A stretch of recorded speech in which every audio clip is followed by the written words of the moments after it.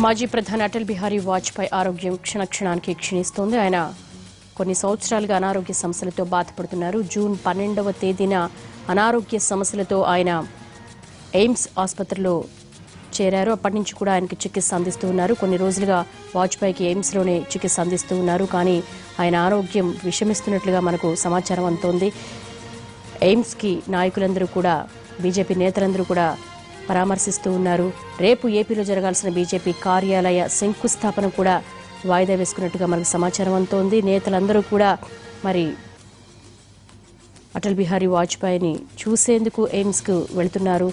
ప్రస్తుతం ఆయన ఆరోగ్యం క్షణక్షణానికి క్షీణిస్తున్నట్టుగా ఎయిమ్స్ డాక్టర్లు సమాచారం అందిస్తున్నారు.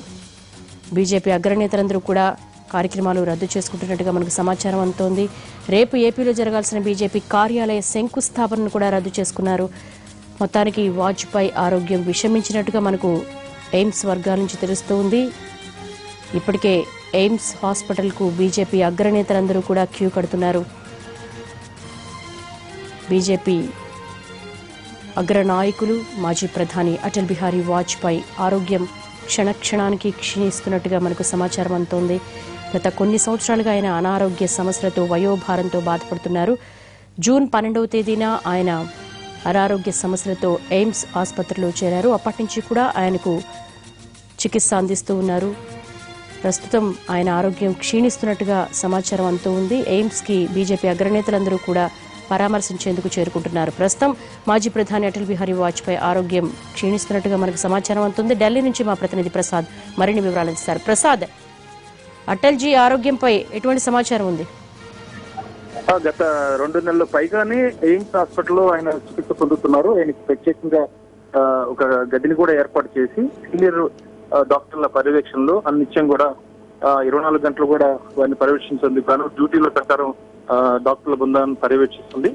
ఈ నేపథ్యంలో ఆ, నిన్న కొంత మేరకు ఆరోగ్యం క్షీణించినట్టుగా వార్తలు వచ్చినప్పటికీ కూడా దానికి సంబంధించి ఇంకా పూర్తి సమాచారం లేదు. ఇంకా ఆన్ ది ఎయిమ్స్ ఆ, అధికారికంగా బులెటిన్లు జారీ చేసే ప్రక్రియను కూడా గత కొంతకాలంగా ఆపివేసింది నిలిపివేసింది. అయితే ఇప్పుడు ప్రస్తుతం కండిషన్ ఏ రకంగా ఉందన్న అంశంపై మాత్రం చాలా స్పష్టత ఇంకా రాలేదు.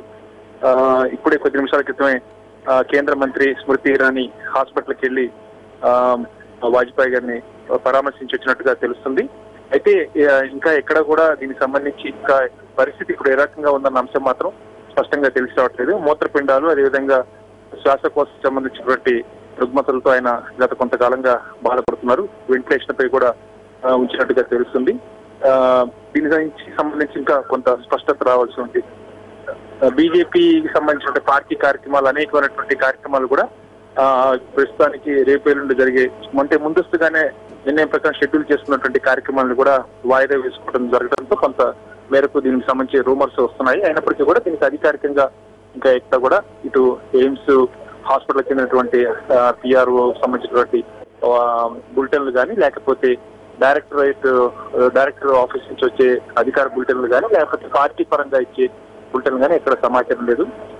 ప్రస్తుతానికి మాత్రం ఇంకా దీనికి సంబంధించి అధికారికంగా కొంత సమాచారం రావాలి ప్రసాద్ గతానికి ఇప్పటికి భిన్నంగా ఏంటంటే అధికారిక కార్యక్రమాలు కూడా రద్దు చేసుకున్నారు. రేపు ఏపీలో బీజేపీ కార్యాలయ శంకుస్థాపన కూడా రద్దు చేస్తున్నట్టుగా మనకి సమాచారం అందుతోంది. దీన్ని బట్టి చూస్తే కాస్త సీరియస్ గానే ఉంది అని మనం భావించవచ్చా? దానికి సంబంధించి అంటే కారణాలు ఏంటో తెలియదు. అయితే బీజేపీ పార్టీ కార్యాలయం యొక్క శంకుస్థాపన సంబంధించి చాలా స్పష్టంగా వాళ్ళు ఇచ్చినటువంటి మీడియా రిలీజ్లోనే చెప్పారు.